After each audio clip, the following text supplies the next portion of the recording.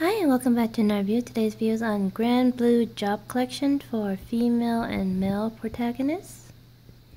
I thought they would be more acrylic, but it's actually plastic. It's very plasticky or flimsy, but still pretty nice. And um, we found out they actually had the name of their jobs behind them.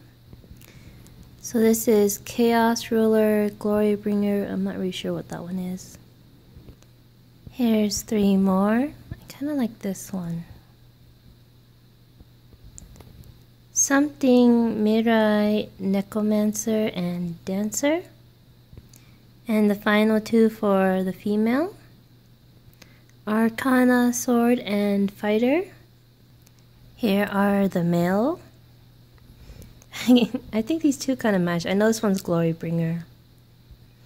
So that one was Gunslinger, Glorybringer, and Vern Suit.